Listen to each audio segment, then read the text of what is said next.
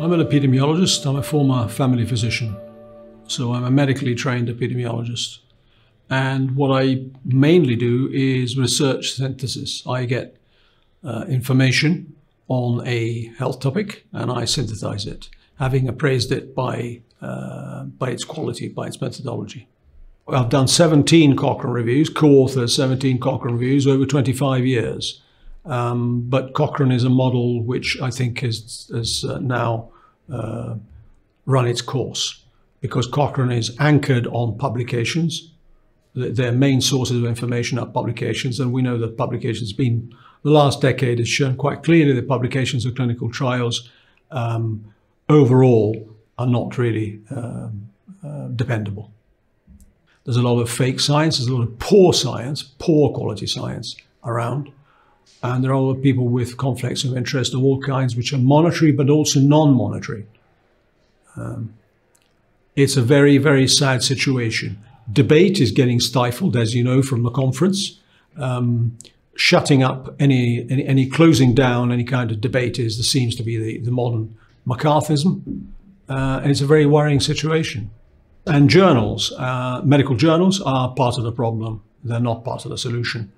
Um, journals do, don't want to retract articles, they don't want to correct articles, they don't answer letters that they don't want to answer, um, and they are vehicles for uh, marketing.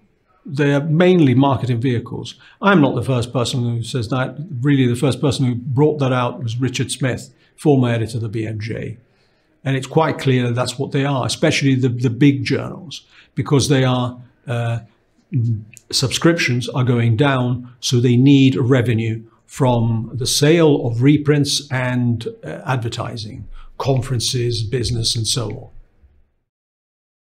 Well, the evidence iceberg is uh, the picture I showed are two icebergs. One's completely below the waterline, so you don't know, uh, you can't see it.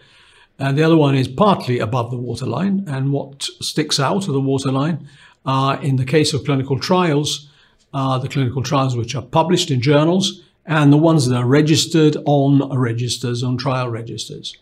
These tend to be a few pages worth of information, whereas below the clinical waterline, there's a huge amount of information, uh, tens of thousands of pages. Um, the highest we've calculated is 8,000 pages of um, material under the waterline for each page above the waterline, so for each page which is published, uh, which makes um, uh, journal articles an unreliable source of um, uh, information, regardless of any other distortions. It's simply they are, in, they are very brief summaries of what is a huge, complicated endeavor.